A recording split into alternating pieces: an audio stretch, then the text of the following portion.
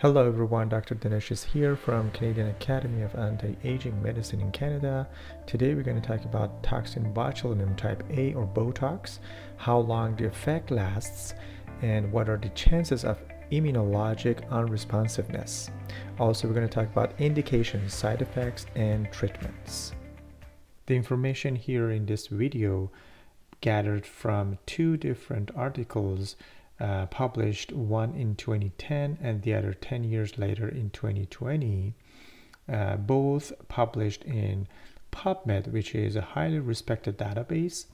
Uh, the first one, which is published in Indian Journal of Dermatology in 2010, it says botulinum toxin, one of the most poisonous biological substance known, is a neurotoxin produced by the bacterium Clostridium botulinum. It has different exotoxins or serotypes.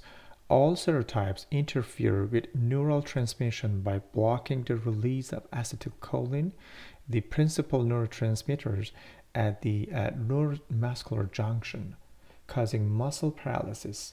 The weakness induced by injection with botulinum toxin type A usually lasts about three months.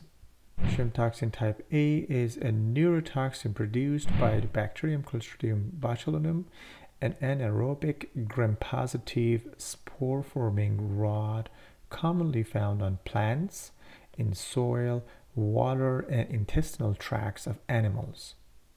How botulinum toxin works all the serotypes interfere with neuron transmission by blocking the release of acetylcholine, which is the principal neurotransmitter at the neuromuscular junction mentioned before. Intramuscular administration of botulinum toxin acts at the uh, neuromuscular junction to cause muscle paralysis by inhibiting the release of acetylcholine from presynaptic motor neurons. The toxin requires 24 to 72 hours to take effect uh, or to start uh, affecting the neuromuscular junction, reflecting the time necessary to disrupt the synaptosomal process. In very rare uh, circumstances, some individuals may require as many as five days for the full effect to be observed. Peaking at about 10 days, uh, the effect of botulinum toxin lasts nearly 8 to 12 weeks as mentioned before, three months maximum.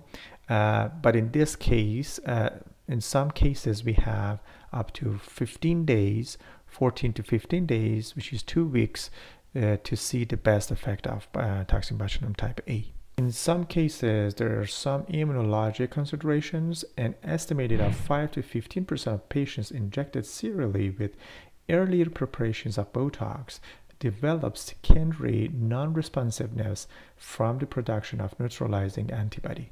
Risk factors associated with development of neutralizing antibody include injection of more than 200 units per session and repeat or booster injections given within one month of a treatment.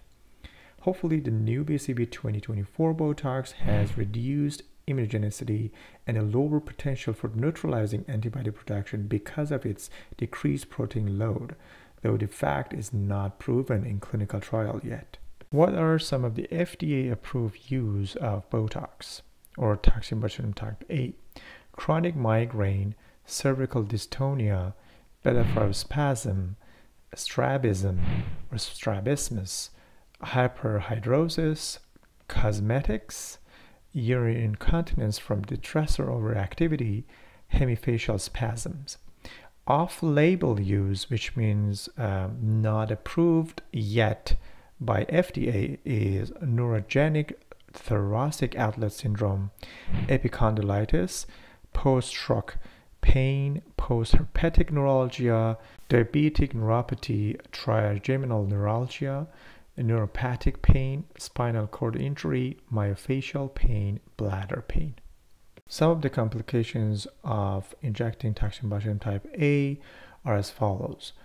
Headache, infection, cocked eyebrow, ectropion, decreased strength of eye closure, and xerophthalmia, which means um, dry eye. What are some of the contraindications of injecting toxin botulinum type A?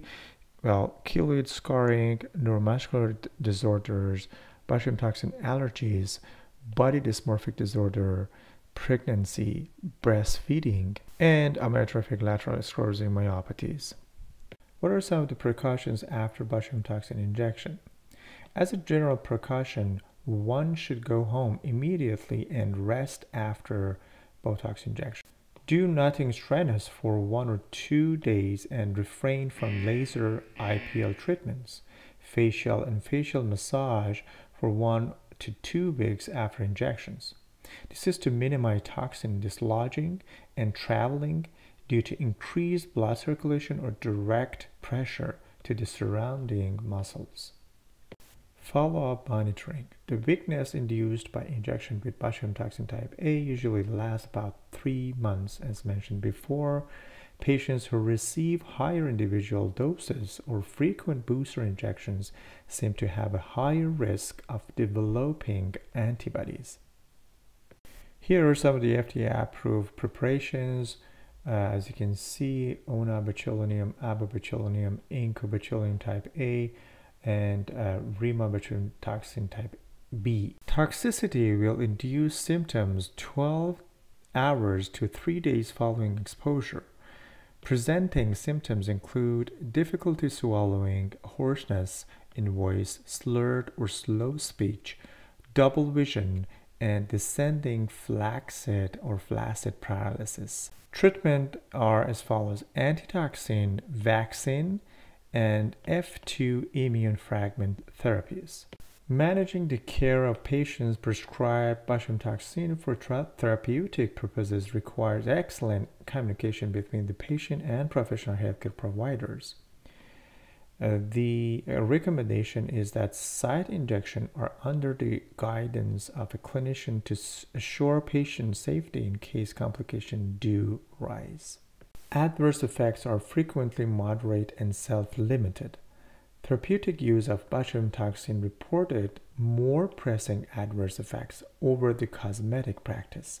This may be due to the higher dosing required for therapeutic applications and possibly complicated underlying conditions.